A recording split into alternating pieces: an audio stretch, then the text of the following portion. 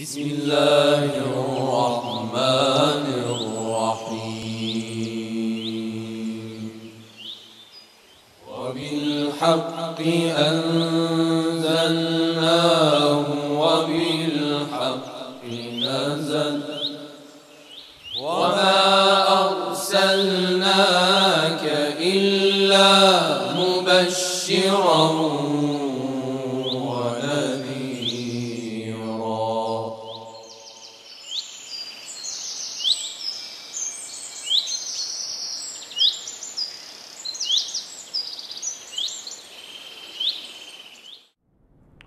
بسم الله الرحمن الرحيم الحمد لله رب العالمين وبه نستعين على أمور الدنيا والدين ثم الصلاة والسلام على أشرف الأنبياء وسيد المرسلين أبي القاسم محمد صلى الله عليه وآله وسلم وعلى آله الطيبين الطاهرين المعصومين ولعن الله دائما على أعدائه من الأولين والآخرين إلى قيام يوم الدين Rabbi syrah li sadri wa yasir li amri wahlul uqdata min lisani yafqahul qawli.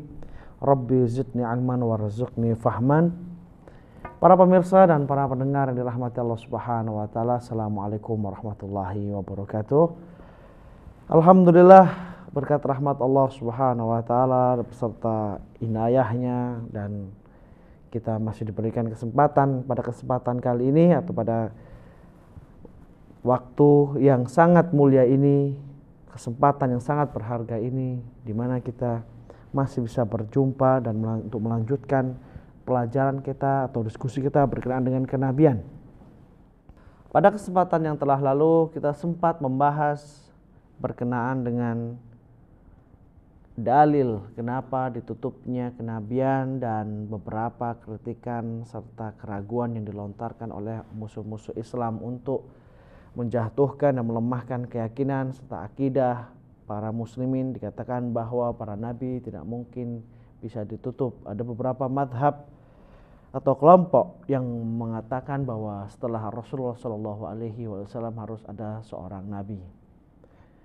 Keharusan seorang nabi setelah Rasulullah dan kita sudah menjawabnya bahwa setelah Rasulullah tidak ada atau setelah Rasulullah wafat, setelah Rasulullah meninggalkan dunia ini tidak ada nabi setelahnya. Al-Quran sudah mempertegas bahwa tidak ada nabi setelah Rasul dengan kata-kata khataman nabiyyin walaupun di situ juga kita sudah menjawab. Ada yang tetap mengkritik bahwa khataman nabiyyin berarti cincin dan sebagainya. Khataman nabiyyin bermakna bahwa Rasul Shallallahu alaihi wasallam adalah penutup para nabi dan tidak ada nabi setelah Rasulullah Shallallahu alaihi wasallam. Alhamdulillah kita sudah menjawab semuanya bahwa setelah Rasul tidak ada nabi yang akan diutus oleh Allah Subhanahu wa taala. Adapun ada seorang nabi yang mengatakan atau mengklaim dirinya seorang nabi dari langit atau utusan Allah Subhanahu wa taala itu adalah nabi palsu atau nabi yang dibuat oleh dirinya atau dibuat oleh kelompoknya atau dibuat oleh orang-orang yang berkepentingan dalam hal itu. Para pemirsa dan para pendengar yang dirahmati Allah Subhanahu wa taala, insyaallah kita akan membahas pada kesempatan kali ini berkenaan dengan falsafah di akhirnya kenabian. Apa falsafah diakhiri atau ditutup pintu kenabian oleh Allah Subhanahu wa taala? Sebelumnya kita tahu bahwa memang benar para nabi diutus. Jadi banyak para nabi diutus oleh Allah Subhanahu wa taala di muka bumi ini dikarenakan apa? Dikarenakan mau tidak mungkin hanya satu orang bisa menyampaikan atau sanggup menyampaikan dari zaman ke zaman dari berbagai tempat jauh yang waktu yang pada saat itu tidak ada komunikasi atau transportasi yang mudah itu hanya satu orang diutus Allah Subhanahu wa taala dan itu tidak mungkin bisa satu orang ini bisa menyelesaikan berbagai permasalahan sosial dan berbagai permasalahan-permasalahan yang dihadapi oleh masyarakat dengan wahyu Allah Subhanahu wa taala. Dengan banyaknya para nabi diutus oleh Allah Subhanahu wa taala dikarenakan apa? Jauh tempat, jauh zaman di mana satu nabi dengan yang nabi yang lain juga tidak satu zaman, sebagian hanya sebagian beda zaman, beda berbagai permasalahan sosial yang muncul di tengah-tengah mereka. Kemudian tidak bisa seluruh atau tidak bisa secara secara keseluruhan ketika hanya satu orang menyampaikan risalah Allah Subhanahu wa taala bahwa risalah Subhanahu wa taala tidak bisa atau tidak mungkin bisa tersebar ke seluruh dunia. Itu dikarenakan saya tadi katakan bahwa sangat luas, makin luas dan rumit komunikasi ketika penjuru dunia ini atau tempat-tempat yang ingin disebarkan risalah ilahi ini jauh tempat dan sangat susah atau sangat sulit komunikasinya dan semakin rumit permasalahannya. Kemudian tuntutan dan undang-undang yang ada Kemudian adanya permasalahan baru di masyarakat menuntut ada sebuahnya sebuahnya hukum dan undang-undang baru. Dan ketika seorang nabi dapat menyebarkan risalah ilahi. Ketika kita sudah mengatakan bahwa seorang nabi menyebarkan, para nabi ini menyebarkan risalah ilahi. Kemudian kita lihat bahwa setiap pergantian dari penyebaran atau penyampaian atau datangnya hukum-hukum ilahi untuk mereka pada zaman tertentu misalnya zaman di Nabi misalnya Nabi Nuh alaihissalam kemudian datang zaman Nabi Nabi Musa misalnya. Itu apa yang di anut atau dipegang hukum atau menjadikan pedoman bagi mereka itu berbeda. Ada beberapa hukum yang berubah. Itu dikarenakan apa? Dikarenakan masa dan atau waktu yang berjalan itu memunculkan berbagai permasalahan-permasalahan sosial, permasalahan-permasalahan kehidupan yang baru. Sehingga apa? Ketika Allah Subhanahu wa taala dengan sifat hakimnya dan dengan sifat kelembutannya atau kasih sayangnya kepada umatnya untuk di mana Allah Subhanahu wa taala kembali lagi tujuan menciptakan manusia untuk mencapai kesempurnaannya itu kembali kepada Allah Subhanahu wa taala maka sudah menjadi sebuah kelaziman ketika Allah Subhanahu wa taala mengutus wasilah atau hujah atau dalil sebagai pedoman untuk manusia mencapai kesempurnaannya yaitu diutusnya para nabi yang lain. Tapi ketika seorang nabi dapat menyebarkan risalahnya misalnya nabi ini bisa menyebarkan risalahnya dengan apa? Dengan bantuan para pengikutnya yang setia, para wakilnya, sehingga ajaran-ajaran Nabi tersebut bisa tersebar di seluruh penjuru dunia.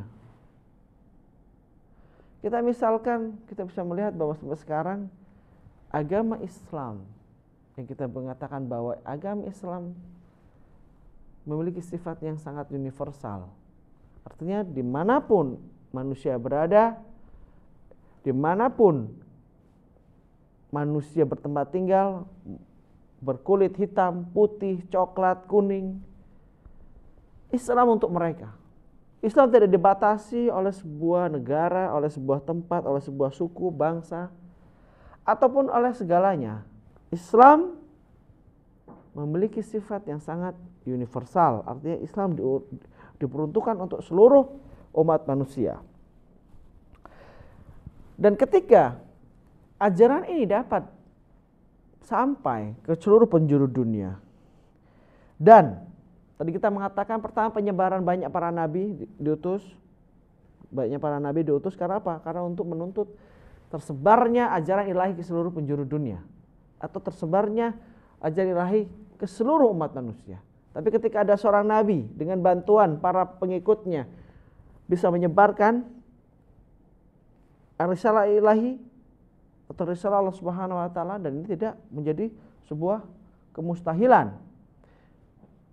Dengan bantuan apa? Dengan bantuan penyebaran dengan bantuan uh, sahabat-sahabatnya atau pengikutnya yang setia dan atau wakil-wakilnya.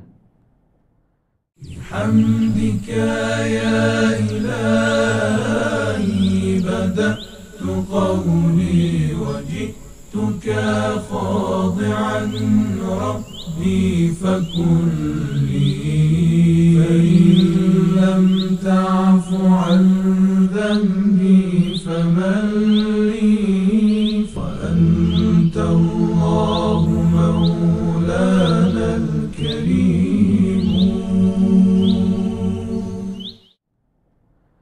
Kedua, hukumnya hukum dari seorang nabi ini seperti kita ketahui, ketika hukum seorang nabi ini bisa menjadi atau bisa memenuhi seluruh kebutuhan manusia. Seluruh bisa mencakup seluruh atau menanggulangi atau memberikan solusi kepada seluruh permasalahan-permasalahan dari setiap zaman, maka tidak perlu lagi diutusnya seorang nabi setelahnya. Dengan syarat apa? Seperti Nabi al-Islam.